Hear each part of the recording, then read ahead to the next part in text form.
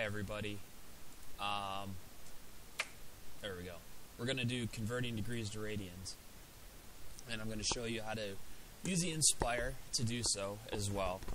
Um, it's easiest by hand, but it's okay.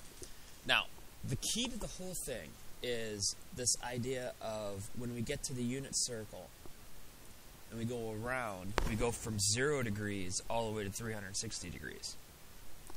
But when we talk about the unit circle has a radius that's equal to 1, and we talk about the circumference, this is 2 pi r. So it's 2 pi times the radius. The circumference is 2 pi times 1, so the circumference is 2 pi. Now, this 2 pi gives us our radians. And the radian, if we look at the circle, the radian is actually going to be the measure of the degree that gives us a certain arc length.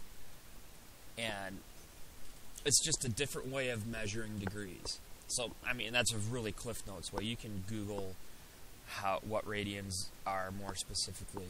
But radians are just a different way of measuring degrees. And we use a lot of radians in um, the upper levels of mathematics. Now, converting is very, very simple. And it goes to the fact that in order to go around the entire circle, we need 360 degrees. But in radians, to go around the entire circle, unit circle, it's 2 pi. So the conversion factor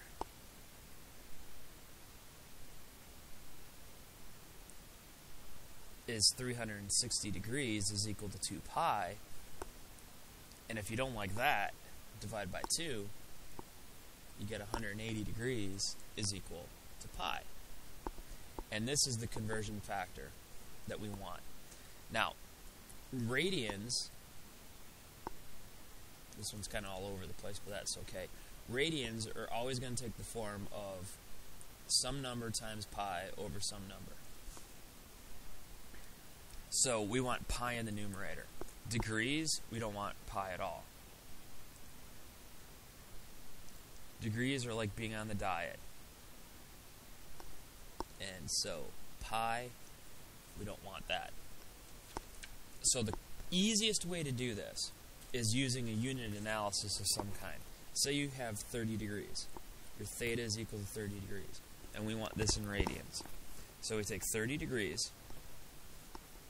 I'm at my train tracks. That's what I always call it.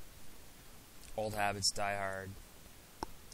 Now, in order to do this, I need to use this conversion factor or this conversion factor. And since I can divide out measurements, or units rather, degrees is a unit of measure, 180 degrees over pi. And I would recommend always doing this by hand if you can. 3, the zeros divide out. And we get 3 into 180 is 6. You get pi over 6. So 30 degrees is equal to pi over 6 radians.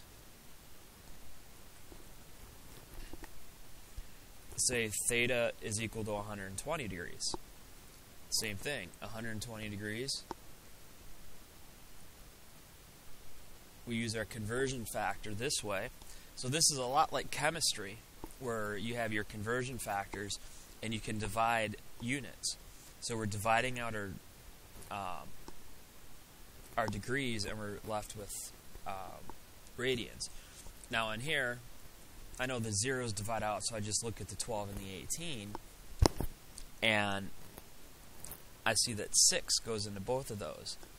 And in this case, you get 2 pi, because 6 goes into 12 two times, 6 goes into 18 three times, so you get 2 pi over 3. Now, if you want to convert the other way, you get your theta is equal to, oh, say 5 pi over 4. And we want this in degrees. So you make your train tracks, 5 pi over 4. And radians don't have a unit, But since I know pi is in the numerator, I want to get rid of pi because there's no pi in degrees. So I'll put pi in the bottom and 180 degrees here. And if we look here, it's the reciprocal. So we're going to use the reciprocal of the conversion factor, which and will give us our degrees. In this case, the pi's divide out. And now we have to do some work here. 4 goes into 180 90 times. And then we get, or 2 goes into 4 two times, goes into 180 90 times. 2 goes into 2 one times, goes in there 45 times. Now we have 5 45s. So 5 times 5 is 25. And, oops, that's a 5. That's not a 2. It's still early in the morning. Second hour prep, that's why you get these wonderful videos.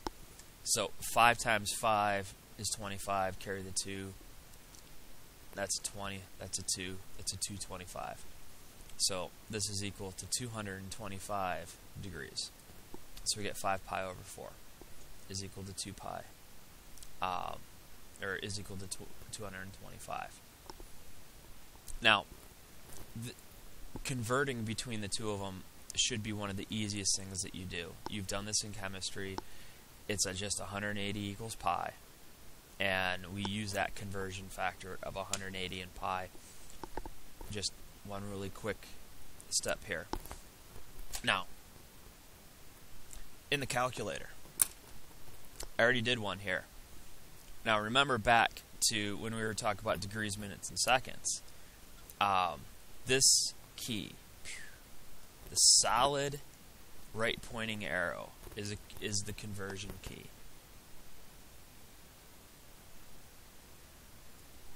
And we can convert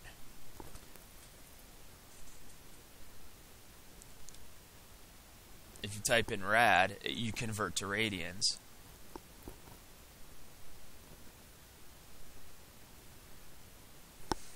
And remember from earlier in the year, if we do DMS, this is degrees, minutes, seconds, which is fine. So, let's say I have pi over 6. So I take pi divided by 6. And I want to convert this to radians. So I don't want that. Well, it's actually in the book. It's and that's where I found this. You can see the uh, the arrow rad, but I don't want to do that, so I'm going to escape out of there. I'm just going to hit Control Book, which will give me all the symbols. And there's my symbol. That's the one I want.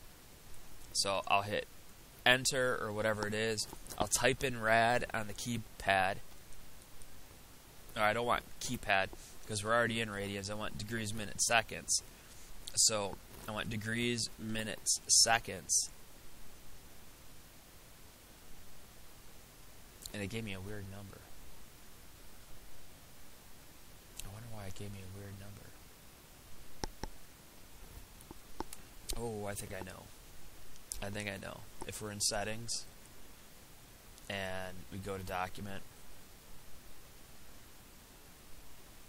which is 2, and no, we're in degrees. So, I wonder why that happened. Interesting. Maybe I just don't want to. Let's go to 4. Let's try. It's always fun. And it's always fun sometimes to see when things screw up too, because then we learn. Why don't we just try degrees?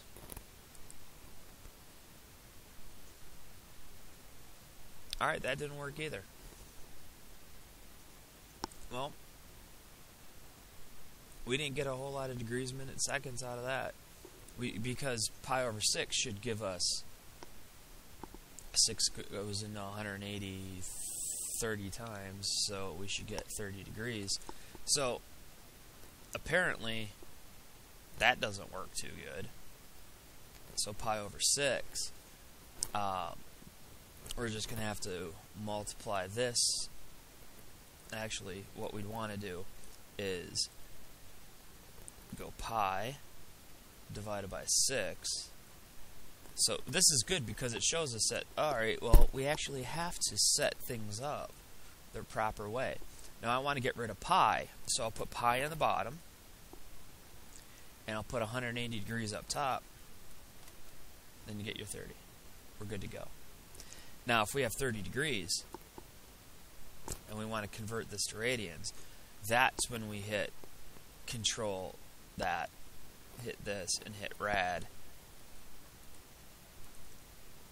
and we get radians. Now the only issue that you're going to get is you're not going to get the nice pi over 6. You're going to get this value. But if you take pi over 6, pi divided by 6, and you hit enter, it's the same value. So we still have it. We don't get the nice pi over 6, but we still are able to actually convert to radians. That'll help us in some of our calculations. So I will find how we can make the Nspire work a little bit better, going from radians to degrees. But honestly, when it comes right down to it, you can do these by hand because a lot of times these are just the special angles that we convert.